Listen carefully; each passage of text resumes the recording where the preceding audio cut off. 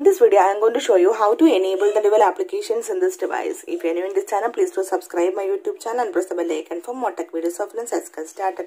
To enable the dual applications in this device, first go to the settings, then scroll down at the bottom side you can see the option app cloner tap on it so in this page you can see all the applications that support the dual system in your device that you installed so here I installed Amazon, Facebook, Google Pay and Snapchat. If you install WhatsApp that also uh, support the dual system in this device. So simply here I am going to create the dual application for Facebook for this tap on it and turn on this option. Now you can see Facebook clone added to home screen.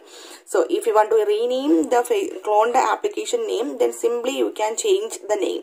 Okay otherwise leave it now i will show you how it works go to drawer mode now you can see two facebook you can see here so simply in this way you can create the dual applications in this device.